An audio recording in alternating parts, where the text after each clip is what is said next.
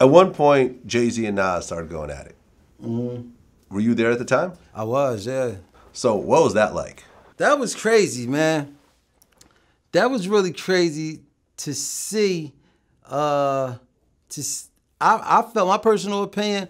I felt as though that after the ether, when the ether hit, that uh, it was the first time I seen Jay or just seen the the crew up there looking vulnerable a little bit. You know what I'm saying? Looking kind of uneasy. You know what I mean? Because they look so confident and strong all of the time. It was just awkward to see Dame uh, seem under pressure a little bit. You know what I'm saying? That was just weird. Like he had a meeting with us one time. Like like yo, like yo man, yo y'all, y'all hear what the fuck? Y'all hear this shit? What's going on? Cause you know Nas hit him with this, Dame Diddy, Dame Daddy, or Dame Dummy, threw him all in there. So he's affected, and then he went in on Jay and all that. So Dame was like, yo, talking to us like in a huddle, like like like football, like yo, you gotta get this nigga, y'all. Fuck that.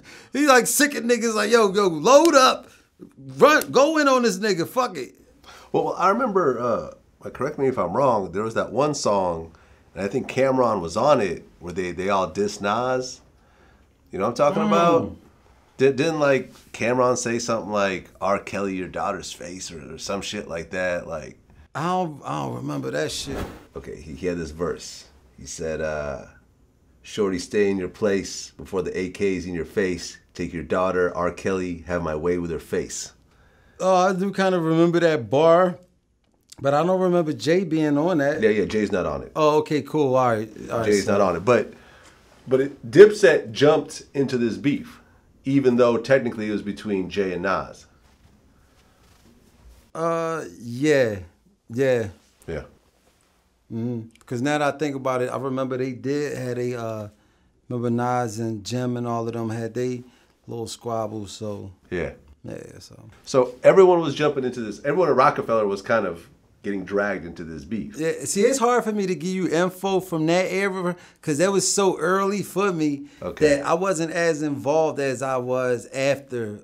You know what I mean? Once I got more in depth into the uh, my situation up there, but at the time. I was still just looking and and there was a lot of shit that was happening, a lot of inside talk that I wasn't involved in. Like they would have meetings and shit or be talking and I wouldn't be in that conversation because I guess I wasn't made yet. You know what I mean? So So you didn't get involved in that at all. uh no, actually I did get on one of the freestyles. I ain't gonna lie. Okay. We did a freestyle, but I think SP was a state prop freestyle, and they was all uh going in on uh I think Nas, or I don't know if it was Nas or Mobb Deep. I think it was Nas, and uh I forgot what beat it was, but I did put a verse on one of them joints. Do you remember what beat it was? I don't. uh, I don't think what fucking beat was that. It was a banger too. so you guys do a they shooting freestyle. It's funny how y'all freestyling over Nas beats. Right. diss a Nas. I mean, that's normally what you do, though. I mean, that's what you do. Yeah. that makes sense. So so you end up dissing Nas.